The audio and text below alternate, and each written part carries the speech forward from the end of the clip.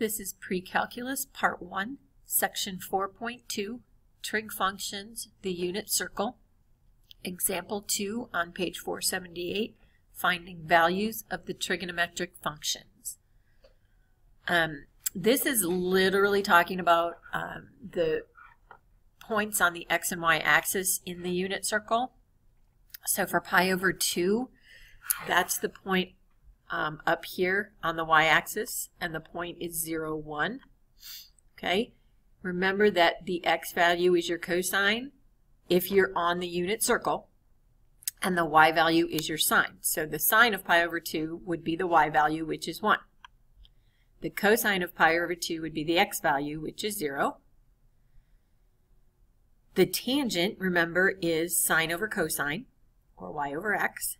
So 1 over 0, we can't have 0 in the denominator, so that is undefined.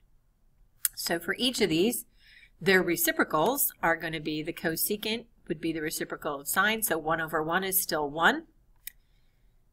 Secant is the reciprocal of cosine, so 1 over 0, again, does not exist, undefined.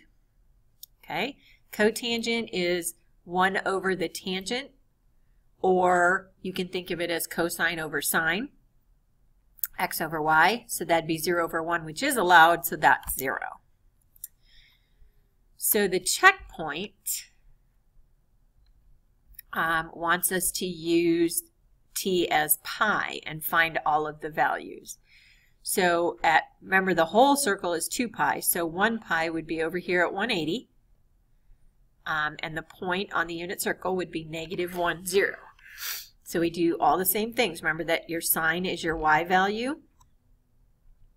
So that would be 0. Cosine is the x value. That would be negative 1.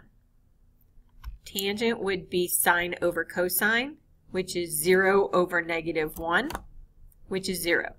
Remember, be very careful. 0 over something is 0 something over 0 is undefined because you're not allowed to have 0 in the denominator of a fraction. Um, cosecant would be the reciprocal of the sine, so 1 over 0 would be undefined.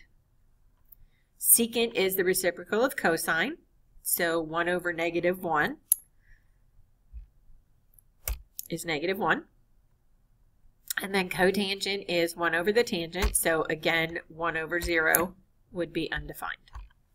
Okay?